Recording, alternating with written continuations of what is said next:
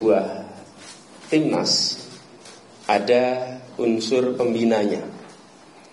Pembinanya terdiri dari Bapak Surya Paloh, Bapak Habib Dr. Salim Segaf Al-Jufri, Bapak Yan Darmadi, Bapak Ahmad Dakiri, dan Ibu Nyai Latifah. Ini adalah uh, pembina yang akan menaungi kegiatan kami.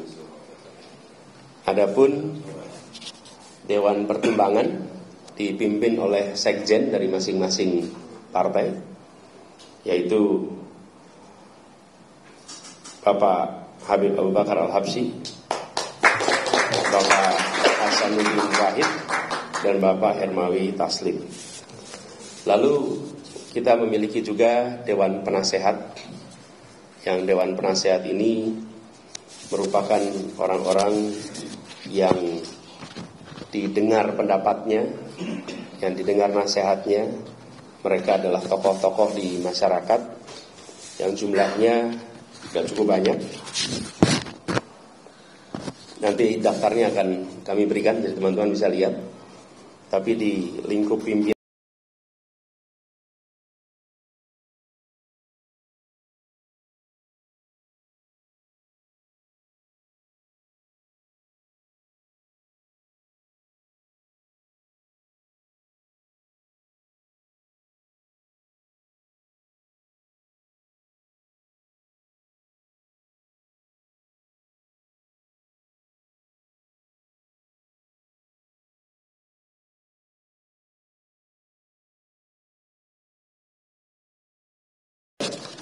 Bapak Sutrisno Bahir, Dr. Michael Manufandu, Komjen Ugroseno, dan ada beberapa uh, tokoh lain yang mungkin saya sebutkan saja beberapa di antaranya.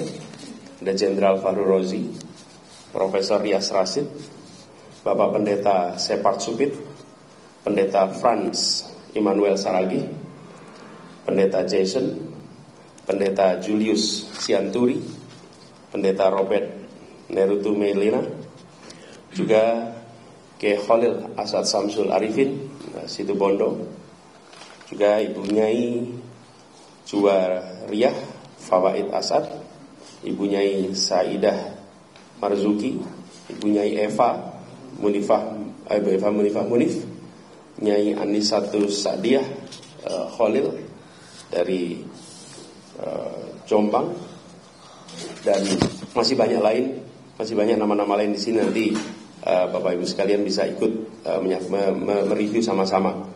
Ada Bapak Toha Alhamid, ada Bapak Samsir Siregar. Nah, lalu terkait dengan yang berikutnya adalah Dewan Pakar nanti Pak Pak Gus Muhaimin nanti akan menyampaikan. Jadi pada prinsipnya sekalian tim yang dibangun ini adalah tim yang akan terus berkembang. Ini adalah tim tumbuh, uh, tim yang akan berkembang, bukan tim yang statis, yang insya Allah menggambarkan sebuah gerakan. Karena hari ini saja uh, yang kita umumkan itu lebih dari 700 nama yang menjadi tim pemenangan, belum yang di daerah. Jadi harapannya ini menggambarkan bahwa tim ini adalah tim gerakan rakyat yang dari rakyat yang siap bekerja untuk memperjuangkan. Monggo Gus, diminti terus.